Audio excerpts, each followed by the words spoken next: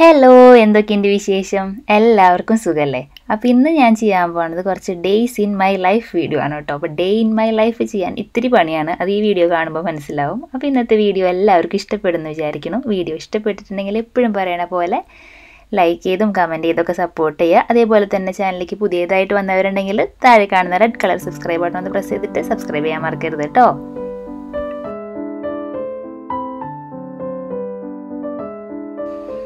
അപ്പോൾ തമ്മനയിൽ എല്ലാവരും കണ്ടു കാണും. എനിക്കിപ്പോൾ ഒരു പുതിയ റോളും കൂടി ഉണ്ട് കേട്ടോ. ഒരു സ്റ്റുഡന്റിന്റെ റോളാണ്. അത് ഞാൻ മുമ്പ് ചെയ്തിരുന്നതാണ്. ഇപ്പോൾ ഡെലിവറിയും കാര്യങ്ങളൊക്കെ ആയിട്ട് ഇപ്പോൾ ഒന്നും ചെയ്തിരുന്നില്ല. അപ്പോൾ മുമ്പ് ഞാൻ ജോയിൻ ചെയ്ത കോഴ്സ് ഒരു ആറ് മാസത്തെ കോഴ്സിനായിരുന്നു ജോയിൻ ചെയ്തത്. അത് കംപ്ലീറ്റ് ആയിട്ട് കഴിഞ്ഞതിന് ശേഷമാണ് കേട്ടോ ഞാൻ പിന്നെ ഡെലിവറിയും കാര്യങ്ങളൊക്കെ ഉണ്ടായത്. പിന്നെ ഞാൻ ഞാനിപ്പോൾ അടുത്തൊന്നും ജോയിൻ ചെയ്യാൻ യാതൊരു ഉദ്ദേശമൊന്നും ഉണ്ടായിരുന്നില്ല. അപ്പോഴാണ് നമ്മുടെ വീടിന്റെ തൊട്ട് ഫ്രണ്ടിൽ തന്നെ ഒരു ബിൽഡിങ്ങിൽ ഇങ്ങനെ ജാപ്പനീസ് പഠിപ്പിക്കുന്നുണ്ട്. ജാപ്പനീസ് തന്നെയല്ല കുമോൺ എന്ന് പറഞ്ഞൊരു സംഭവമാണ് കേട്ടോ. അത് ഇങ്ങനെ ട്യൂഷനൊക്കെ പോലെ അവരുടെ ഒരു മെത്തേഡിൽ അവരിങ്ങനെ കുട്ടികൾക്ക് ഇംഗ്ലീഷ് ജാപ്പനീസ് മാത്സ് ഒക്കെയാണ് പഠിപ്പിക്കുന്നത്. അപ്പോൾ ജിക്കുവിന് ഇവിടെ സ്കൂളിലൊന്നും പഠിപ്പിക്കാത്തതുകൊണ്ട് ജിക്കുവിനെ അവിടെ വിടാമെന്ന് വിചാരിച്ചു. എന്തെങ്കിലുമൊക്കെ ഒന്ന് എഴുതണ്ടേ? സ്കൂളിൽ യാതൊരു കാര്യങ്ങളും എഴുതലും പറയലും പഠിക്കലും ഒന്നുമില്ല. അപ്പം നമ്മളായിട്ട് പഠിപ്പിക്കുമ്പോൾ അവനൊന്നും പഠിക്കില്ല. അങ്ങനെ ജിക്കു പോയി തുടങ്ങിയപ്പോഴാണ് മനസ്സിലായത്. അവരധികവും ഇങ്ങനെ മെറ്റീരിയൽസ് വീട്ടിലേക്ക് തന്ന് വിടും. എന്നിട്ട് വീട്ടിൽ നിന്ന് അത് ചെയ്ത് കൊണ്ടുപോവുക അവർ ചെക്ക് ചെയ്യും. എന്നിട്ട് പിറ്റേ ദിവസം അടുത്തത് തരും. അങ്ങനെയുള്ളൂ അപ്പോൾ ആഴ്ചയിൽ രണ്ട് ദിവസമുള്ളൂ ക്ലാസ് കേട്ടോ അപ്പോൾ ജിക്കുവിനെ കുറച്ച് നേരം അവിടേക്ക് വിടാന്നുള്ള രീതിയിലാണ് കുറച്ച് നേരം വീട്ടിൽ നിന്ന് മാറ്റി നിൽക്കാന്നുള്ള രീതിയിലാണ് വിട്ടത്. പക്ഷെ അവിടെ എത്തിയപ്പോൾ ഉണ്ട് പോകലും വരലും ഒരേ സ്പീഡിലാണ് അതാണ് അവസ്ഥ. അപ്പോൾ പിന്നെ ഞാനും കൂടി പോകാമെന്ന് വിചാരിച്ചു. ഇപ്പോൾ ഉണ്ണി അമ്മയുണ്ടല്ലോ. അപ്പോൾ ഉണ്ണീനെ നോക്കാനും. പിന്നെ ചേട്ടന് വർക്ക് ഫ്രം ഹോമാണ് അതുകൊണ്ട് അങ്ങനെ പോവാന്ന് വിചാരിച്ചിട്ട് പോയി. അല്ലെങ്കിൽ ഇത്രയും നാൾ പഠിച്ചത് ഒരു ടച്ചും ഇല്ലാണ്ട് ഇരുന്നിട്ടുണ്ടെങ്കിൽ ആകെ ഒരു ബ്ലാങ്ക് ആയ അവസ്ഥയായിരിക്കും. അപ്പോൾ അങ്ങനെ പോയി തുടങ്ങിയപ്പോൾ കുറേ ഹോംവർക്ക് ഉണ്ട് കേട്ടോ ചൊവ്വാഴ്ചകളിലും വെള്ളിയാഴ്ചകളിലാണ് ക്ലാസ് അപ്പം ഞാൻ ദേ വ്യാഴാഴ്ച ഇരുന്നിട്ട് ഞാൻ ഹോംവർക്ക് ചെയ്യാനുള്ള ഒരു ശ്രമം നടത്താണ്. ഉണ്ണിക്ക് ഇപ്പം പകൽ ഉറക്കം കുറവാണ് കേട്ടോ അപ്പോൾ കുളി കഴിയുമ്പോൾ കുറച്ച് നേരം ഉറങ്ങിക്കോളും. അപ്പോൾ അങ്ങനെ ഉറക്കി കെടുത്തിയിട്ട് അമ്മേരെ അടുത്ത് കൊണ്ട് കെടുത്തിയിട്ടുണ്ട്.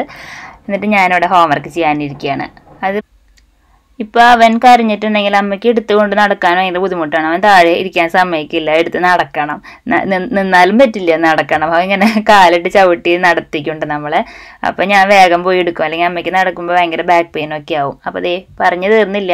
പത്ത് മിനിറ്റ് തികച്ച് ഉറങ്ങിയിട്ടില്ല കേട്ടോ. അപ്പോഴേക്ക് എനിറ്റു അപ്പം ഞാൻ ആദ്യം ഉറക്കാനുള്ള ശ്രമം നടത്തുകയാണ് കേട്ടോ.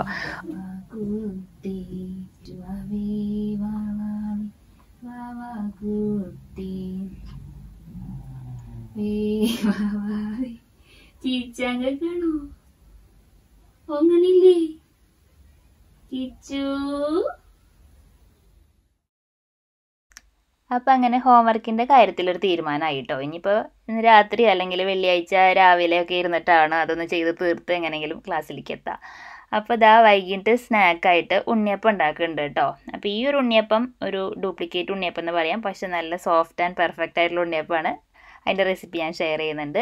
ഈ വീഡിയോ എടുക്കണമെങ്കിൽ ഒരാഴ്ച മുമ്പ് ഞാൻ ട്രഡീഷണൽ സ്റ്റൈലിൽ അരിയൊക്കെ അരച്ചിട്ടുള്ളൊരു ഉണ്ണിയപ്പം ഉണ്ടാക്കി. അപ്പം ഞാൻ മുമ്പ് ഉണ്ടാക്കാറുണ്ട്. അപ്പോൾ ബേക്കിംഗ് സോഡ ഞാൻ ചേർക്കരുതെന്ന് ഇങ്ങനെ ചേർക്കാൻ ഇഷ്ടമില്ല. അപ്പോൾ അതുകൊണ്ട് അത് ചേർക്കാണ്ടാണ് ഉണ്ടാക്കിയത്. ആ ടൈമിൽ ട്രൈ ചെയ്തത് കേട്ടോ അപ്പോൾ അത് കഴിച്ചിട്ടുള്ള ജിക്കുവിന്റെ എക്സ്പ്രഷൻസ് ഞാൻ കാണിച്ചു തരാം.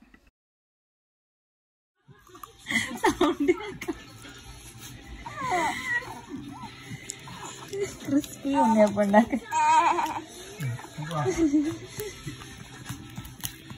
ക്രിസ്പി ഉണ്ണിയപ്പം ഉണ്ടാക്കില്ല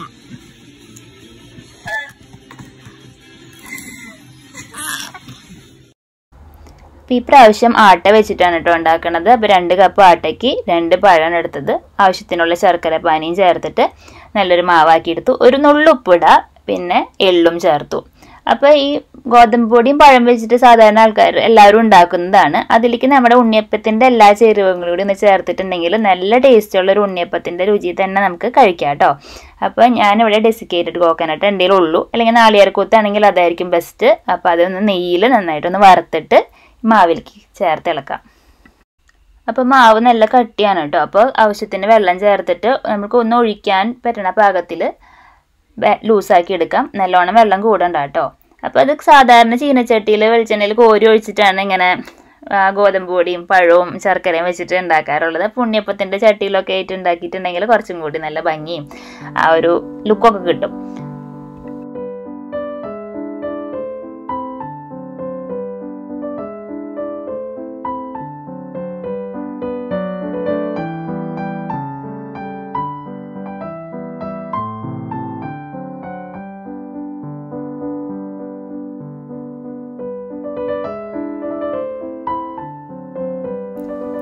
ഞാൻ അരി വെച്ചിട്ടുണ്ടാക്കിയ ഉണ്ണിയപ്പം കുറച്ച് ഹാർഡായെങ്കിലും അത് നല്ല ചൂടപ്പം പോലെ ചിലവായിട്ടോ കേട്ടോ അത് നല്ല നേരം പോക്കായിരുന്നു. കഴിക്കാൻ നല്ല ഇങ്ങനെ മറ്റേ ശബരിമലയിൽ നിന്ന് കിട്ടുന്ന ആ ഒരു അപ്പം ഉണ്ടല്ലോ അതുപോലെ ഉണ്ടായിരുന്നു. എനിക്ക് ആ അപ്പം ഭയങ്കര ഇഷ്ടമാണ് കേട്ടോ പക്ഷെ ഇപ്പൊ നമുക്ക് പിന്നീടൊക്കെ ഞാൻ വലുതായി പിന്നെയൊക്കെ കിട്ടിയിട്ട് കഴിച്ചിട്ടുള്ളത് അത്ര പണ്ടത്തെ ആ ഒരു ടേസ്റ്റ് ഒന്നും കിട്ടാറില്ല.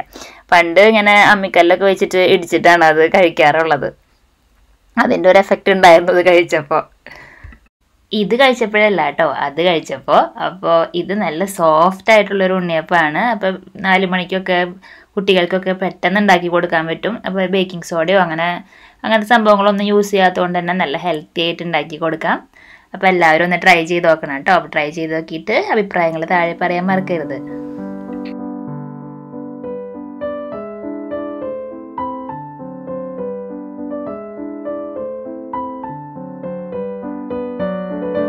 രാവിലെ നേരത്തെ പണികളൊക്കെ കഴിഞ്ഞ് ഉണ്ണി പാലൊക്കെ കുടിച്ച് ഉഷാറായി ഇരിക്കുകയാണെങ്കിൽ ഞാൻ ചിലപ്പോൾ അവനെ ഇവിടുത്തെ ഒരു പ്ലേ ഏരിയയിൽ കൊണ്ടുപോകും കേട്ടോ ഇൻഡോർ ആയിട്ടുള്ളൊരു പ്ലേ ഏരിയ ആണ്. അപ്പോൾ അവിടെ എന്ന് വെച്ചാൽ അമ്മയ്ക്കും കുട്ടിക്കും മാത്രമായിട്ടുള്ളൊരു സമയമാണ്. അമ്മ തന്നെയല്ല അച്ഛന്മാർക്കും കൊണ്ടുപോകാം ആർക്ക് വേണമെങ്കിലും പോവാം. അവിടുത്തെ ഒരു പ്രത്യേകത എന്താണെന്ന് വെച്ചാൽ കംപ്ലീറ്റ് ഫ്രീ ആണ് കേട്ടോ അത് തുറക്കുമ്പോൾ തുടങ്ങി അടയ്ക്കണ വരെ നമുക്ക് വേണമെങ്കിൽ അവിടെ ഇരിക്കാം. ഭക്ഷണമൊക്കെ കൊണ്ടുപോയി അവിടെ ഭക്ഷണം കഴിക്കാം. അങ്ങനെ എല്ലാവിധ സൗകര്യങ്ങളും ഉണ്ട്. അവിടുത്തെ അകത്തെ കാര്യങ്ങളൊക്കെ ഞാൻ ഇനി ഒരു വീഡിയോയിൽ കാണിക്കാം കേട്ടോ. വേറെ ഒന്നും കൊണ്ടല്ല. ഇപ്പോൾ കൊറോണ ആയ കാരണം കുറച്ച് റെസ്ട്രിക്ഷൻസ് ഒക്കെ ഉണ്ട് അവിടെ. അപ്പോൾ ഞാൻ ഇനിയൊരു വീഡിയോയിൽ കാണിക്കാം. അതിന്റെ ഡീറ്റെയിൽസ് ഒക്കെ പറയാം. അങ്ങനെ ദേ വെള്ളിയാഴ്ച ക്ലാസ് ഉള്ള ദിവസമാണ് കേട്ടോ. അപ്പോൾ ജിക്കു സ്കൂളിൽ വിട്ട് വന്നത് മൂന്നര തുടങ്ങിയിട്ടാണ് ഞങ്ങൾക്ക് ക്ലാസ് ഉള്ളത്. അപ്പോൾ ഞാനും ജിക്കും കൂടി പോവും. അപ്പോൾ ചേട്ടന് വർക്ക് ഫ്രം ഹോം ഉള്ള ദിവസമാണെങ്കിൽ ഞാൻ പോകും. ഇപ്പോൾ ഉണ്ണി ഞാൻ പറഞ്ഞല്ലോ എനിട്ടിട്ടുണ്ടെങ്കിൽ അവൻ എടുത്തുകൊണ്ട് നടക്കേണ്ടേക്ക് വരും. അപ്പോൾ അമ്മയ്ക്ക് നോക്കാൻ ചിലപ്പോൾ ബുദ്ധിമുട്ടായിട്ട് വരും. അതുകൊണ്ട് ഞാൻ ചിലപ്പോൾ ചേട്ടൻ ജോലി കഴിഞ്ഞ് വന്നതിന് ശേഷം ഞാൻ ക്ലാസ്സിന് പോവുള്ളൂ. അപ്പോൾ ജിക്കു ആദ്യം പോയിക്കോളും. അപ്പോൾ രാത്രി എട്ട് മണി വരെ അവിടെ സമയമുണ്ട്. പോയി നമുക്ക് മെറ്റീരിയൽസ് ഒക്കെ കളക്ട് ചെയ്ത് നമുക്ക് ഡൗട്ടൊക്കെ ക്ലിയർ ചെയ്തിട്ട് ഇങ്ങോട്ട് വരാം. അത്രയ്ക്കേ ഉള്ളൂ കേട്ടോ. ജിക്കുവിന് ഭയങ്കര ഇഷ്ടമാണ് അവിടെ പോവാൻ അതൊരു ഭാഗ്യമായി എന്നുവെച്ചാൽ സ്കൂളിൽ നിന്ന് ഒരു കാര്യങ്ങൾ എഴുതാനോ ഒന്നും പഠിക്കാനോ ഒന്നും ഇല്ലാത്തതുകൊണ്ട് നമുക്കൊരു ടെൻഷനായിരുന്നു ഇനി സ്കൂളിൽ പോകുമ്പോൾ എന്താവും? അപ്പോൾ ഇവിടെ നിന്ന് കുറച്ച് അവർ തരുന്ന വർക്കൊക്കെ ചെയ്യാൻ ഇൻട്രസ്റ്റ് ഉണ്ട്.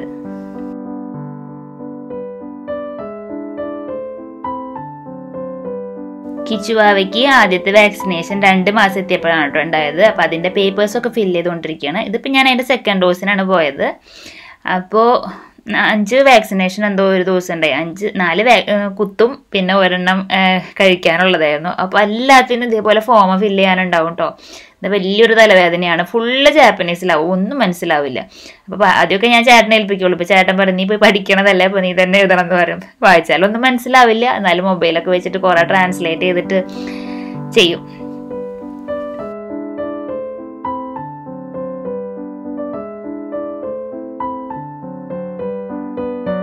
പണ്ടത്തെ ഞാനാണെങ്കിൽ ഇതേപോലെ ഒന്നും ചെയ്യില്ല കേട്ടോ ഇപ്പൊ ചേട്ടന്റെ ഒരു ഇതാണ് മിടുക്കാണ്. എന്നെ ഇങ്ങനെ മാറ്റിയെടുത്തത്? എന്താണെന്ന് വെച്ചാൽ ഇപ്പൊ ജിക്കുവിനെ കാലത്ത് സ്കൂളിലേക്ക് ഇപ്പൊ വല്ല ഹോൾ ലീവ് എടുക്കുകയാണെങ്കിലൊക്കെ സ്കൂളിലേക്ക് വിളിച്ച് പറയാനോ അങ്ങനെ ഓരോ കാര്യങ്ങൾക്ക് ഫോൺ ചെയ്യേണ്ട കാര്യത്തിനായാലും അപ്പോൾ ഒക്കെ എന്നെ കൊണ്ട് ചെയ്യിപ്പിക്കും. ഞാൻ ആദ്യമൊക്കെ നല്ല തല്ലുകൂടും എനിക്ക് പറ്റില്ല എന്ന് പറഞ്ഞിട്ട് ആകെ ഭയങ്കര അടിയൊക്കെ ആവും എന്നാലും അവസാനം അത് ചെയ്യുമ്പോൾ ചെയ്ത് കഴിയുമ്പോൾ കിട്ടുന്ന ഒരു സന്തോഷം ഉണ്ടല്ലോ എന്നെ കൊണ്ട് പറ്റി എന്നുള്ളൊരു സന്തോഷം. അപ്പോൾ ഭയങ്കര ഒരു ഹാപ്പി ആവും കേട്ടോ അപ്പോൾ ഇന്ന് ഇപ്പം ചിക്കുവിനും ചേട്ടനും കൂടി സ്വിമ്മിങ്ങിന് പോകേണ്ട ദിവസമാണ് അപ്പോൾ അവർ വാക്സിനേഷന് പോയാൽ തിരിച്ചെത്തുമ്പോഴേക്കും ലേറ്റ് ആവും അതുകൊണ്ട് ഞാനും ഉണ്ണിയും കൂടിയാണ് വാക്സിനേഷന് പോണത്.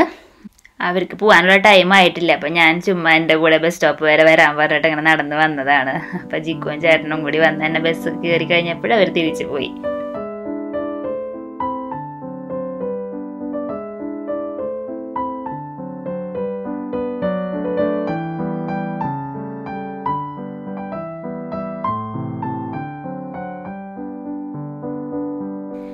അപ്പോൾ എല്ലാവരും ചോദിക്കാറുണ്ട് വീഡിയോസ് ആഴ്ചയിൽ ഒരിക്കലെങ്കിലും ഇടണം എന്ന് അപ്പോൾ ആഴ്ചയിൽ ഒരിക്കൽ ഞാൻ എങ്ങനെയെങ്കിലുമൊക്കെ വീഡിയോ ഇടുന്നുണ്ട്. പക്ഷേ ഇപ്പോൾ കണ്ടില്ലേ ആകെ ഒരു ബിസിയാണ്. ഹോംവർക്ക് എഴുതാനുണ്ടാവും.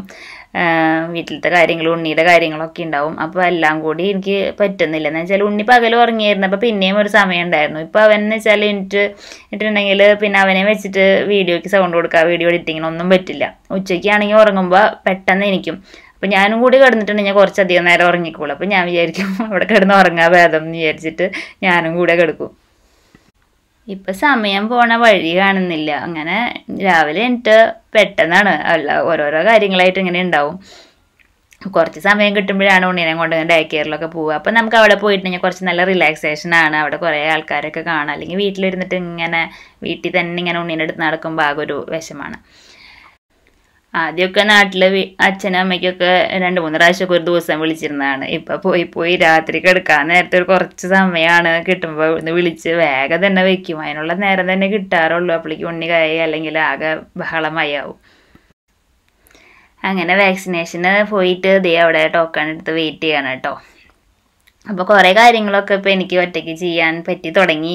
യൂട്യൂബിൽ ഫേസ് കാണിച്ച് വീഡിയോ എടുത്ത് തുടങ്ങിയപ്പോഴും കുറച്ച് കോൺഫിഡൻസ് ആയി. അതേപോലെ തന്നെ ചേട്ടൻ തരുന്ന മോട്ടിവേഷൻ അപ്പോൾ അതൊക്കെ എനിക്ക് കുറേ മാറ്റങ്ങൾ എന്നിൽ ഉണ്ടാക്കി കേട്ടോ അപ്പോൾ കഴിഞ്ഞ വീഡിയോയിൽ ഞാൻ പറഞ്ഞില്ലേ ജിക്കുവിന്റെ സ്വിമ്മിങ് ക്ലാസ്സിനെ പറ്റിയിട്ട്. പാവം കേട്ടോ നല്ല പേടിയാണ്. ഇപ്പോൾ കുറേ ബെറ്ററായി തുടങ്ങിയിട്ടുണ്ട്. അപ്പോൾ പേടി മാറ്റാൻ വേണ്ടിയിട്ട് മുഖം ഇങ്ങനെ വെള്ളത്തിൽ മുക്കി ഇതാക്കാനൊക്കെ പറയാം. അതാണ് കണ്ടത് ഇപ്പോൾ അപ്പോൾ കുറച്ച് വീഡിയോസൊക്കെ എടുത്തായിരുന്നു. അപ്പോൾ അതൊന്ന് ഷെയർ ചെയ്യാമെന്ന് വിചാരിച്ചു. അപ്പോൾ ഇന്നത്തെ വീഡിയോ ഇത്രയ്ക്കേ ഉള്ളൂ കേട്ടോ. ഈ വീഡിയോ എല്ലാവർക്കും ഇഷ്ടപ്പെട്ടെന്ന് വിചാരിക്കുന്നു. വീഡിയോ ഇഷ്ടപ്പെട്ടിട്ടുണ്ടെങ്കിൽ എപ്പോഴും പറയണ പോലെ ലൈക്കും കമന്റും സബ്സ്ക്രൈബൊക്കെ ചെയ്ത് സപ്പോർട്ട് ചെയ്യുക. പുതിയൊരു വീഡിയോ ആയിട്ട് കാണുന്നവരെ എല്ലാവർക്കും ബൈ ബൈ